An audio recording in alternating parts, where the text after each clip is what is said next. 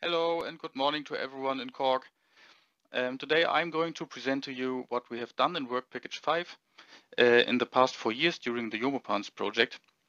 Unfortunately, uh, the three of us, um, so Jens, Dennis and me, um, cannot be in Cork today uh, because we have to be in Rostock here at the Baltic Sea Day, um, but um, we're still happy to present to you um, what we have done and also what we could achieve. Um, so the work of the work package 5 um, comprised the measurements and um, the data management.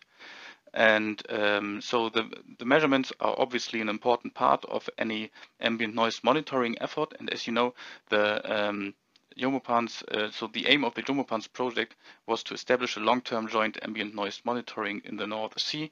And uh, we took care that the measurements were gathered jointly and co coordinatedly uh, during the project. Um, the measured data that we gathered was um, subsequently used for um, uh, for the validating of the noise maps um, or the verification of the noise maps, and um, also we um, took care and analyzed the data ourselves to get ever more insights of the soundscapes at the respective measurement positions that we have. So the work package uh, was divided into three main topics, which are the measurements, the data processing, the data management and sharing. Um, so we ensured that um, all of the measurements um, were done in a in a comparable way. We also ensured that the data processing was carried out um, so that the, um, the, data was comparable um, between the different partners uh, and provided the data to the relevant work packages. And uh, this is the last point. This is the data management and sharing. So during the project, uh, we set up an FTP server. And on this FTP server, we shared the measured data and later and also other data such as the noise maps were shared so that the relevant work packages could, um, could um, um, properly work together. Um, during the project, um, we, as the Jomopans Consortium, were measuring at 18 uh, measurement locations across the North Sea. Um, so actually 17 locations in the North Sea and one location up at the Lofoten Islands uh, in Norway. And so this Lofoten, uh, this Love station data uh, was used for the verification of the model in 2018. And all of the of the stations that were distributed across the North Sea um, were uh, maintained by nine different measuring institutions uh, across the North Sea that you can see here on on the right. And um, so we decided jointly as Work Package 5 um, where we wanted to measure in the North Sea, and we also um, um decided how we wanted to measure in terms of uh, frequency range, duty cycle, um, and so forth. Mm, however, each partner was uh, responsible on their own um, for the proper deployment and maintenance and um, um, also the recovery of their instruments. And um, so regarding the measurement period, so initially it was planned to measure um, only during the entire calendar year of 2019. But um, as you know, the Jomopans project um, was granted an extension in the summer of 2021. And um, so fortunately, some partners had kept on measuring during 2020 because now this data from 2020 uh, can be used for validating new sound maps um, that were just produced by TNO for the year of 2020. So um, we have now data available for two years, 2019 and 2020. And this data um, um, um, is, is, is very important for the validation of the sound maps which we are now also having for 2019 and for 2020. During the Jomopans project, uh, we used different hydrophone systems and different setups at each station. So there was not a real standard for that, but uh, the different partners um, could use um, their, their instruments that were that they had anyway uh, before the project already.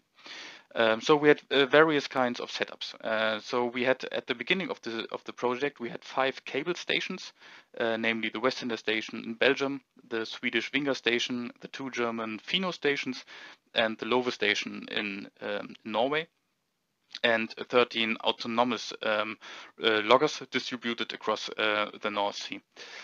And we agreed uh, to use the same measurement settings. So we uh, were using the same frequency range from 10 hertz to 20 kilohertz.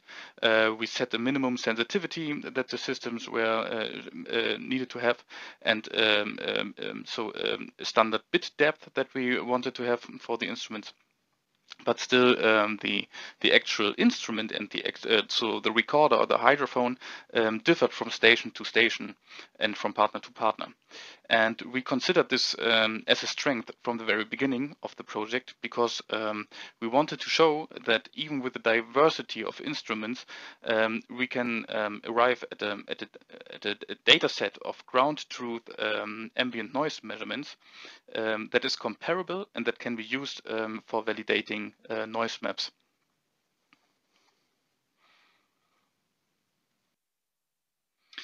But obviously, when you're measuring offshore, uh, you have to face um, some problems. So it's uh, not that easy, and uh, um, and sometimes it's also not predictable um, what will be the outcome of the measurements. Um, so the systems that we deploy offshore need to endure winds, currents, and waves, and are prone to um, corrosion and biofouling, as you can see on the top right picture as an example.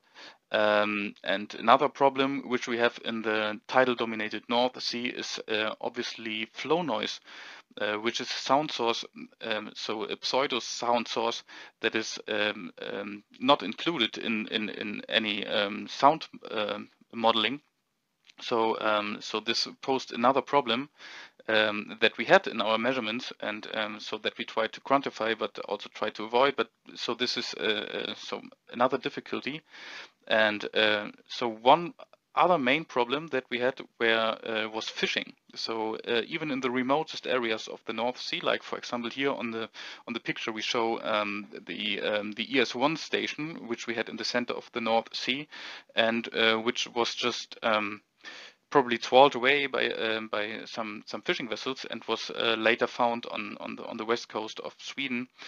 Uh, so these these are just problems, and we um, also heard of um, heard of um, instruments that uh, vanished completely and were never found again. And probably also this happened uh, due to due to fishing activities. And um, so this is something that uh, we need to have in mind when we're thinking about uh, measurements um, offshore and also when we think about the finances associated uh, with uh, such measurements. So um, as I said, we were using um, many kinds of different instrumentation and we were also using um, different algorithms to process the data. But still, it was our task to ensure that the data, which we later on um, um, gave to Work Package 6, was comparable across the whole North Sea region. So what we did, we carried out um, two, um, two um, ring tests or two benchmark exercises. Um, the first benchmark exercise focused on the processing of, um, of the data. And in this exercise, um, all partners were asked to process the same synthetic signals, pink and white noise, and um, and um, process the sound pressure levels for um, a set of uh, percentiles. And these uh, sound pressure levels were compared by NPL. Uh, the results um, you can are here presented on the top right, or uh, one of the plots from the from the results. And uh, so NPL found that um, um, all of the results, all of the sound pressure levels were within an acceptable range. So that it could be ensured that even if um, different uh, processing algorithms were used by the different partners, um, the results in the end were still comparable. Uh, one other thing that we needed to take care of was um, the calibration. So we needed to ensure that the calibration of each partner was performed in a comparable way. To do so, uh, we carried out an, um, um, a calibration exercise um, where the partners could bring their instruments to NPL in Teddington, and NPL carried out a low frequency calibration of the instrument up to 300 Hertz. And this calibration then consequently could be compared against um, the calibration which all of the partners had uh, done at home already.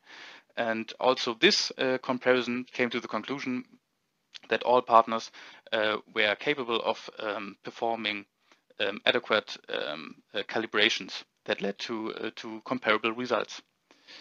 Um, so and the last thing was to ensure that um, a set of quality control steps were provided by each partner on their own before they upload the data to our FTP server. Therefore, there was a set of, um, of um, um, uh, quality control steps that needed to be done. And um, so then the data was uploaded. All of those steps and also the two ring tests are um, described more in detail in the reports of Work Package 3, which you can find on the Jomopans uh, webpage.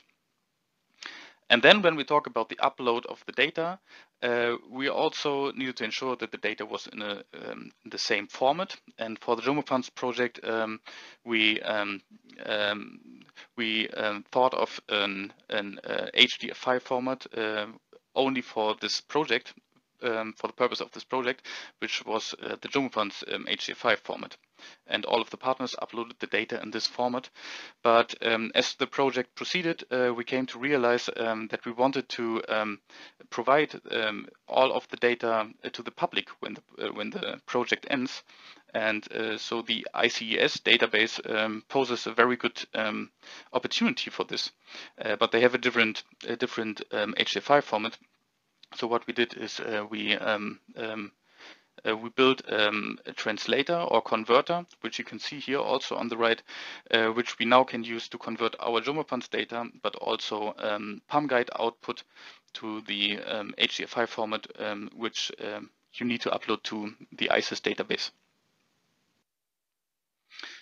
So, and this is what we have in the end. So when you follow all of the steps that I've just went through, uh, we arrive at this data coverage. So here you can see the spectrograms of all the 18 stations. Um, so in, in, fact, these are 19 stations because in 2020, the Hönö station from Sweden was also um, uh, was also added to our to our data, and all of those steps that uh, that were taken for the measurement and for the processing and for the quality uh, checks are described also in the measurement guidelines from Work Package 5, um, which is um, our end report, which you can also um, see on the Jomopans uh, web page. And this data was then provided to Work Package 6, and uh, Work Package 6 um, could uh, proceed and uh, compare these time series against uh, the model time series at the respective positions. And um, so um, this led to um, the uh, validation um, report and also to um, the publication by Ross, which you probably are all aware of, which was recently uh, published where all of this validation effort um, can be seen. And the validated um, the validated sound maps are also all available online um, in the GES tool. Um, I think we will hear more about this tomorrow by Emily. So um, here you can see how our measured data was helpful um, in creating or validating these these maps.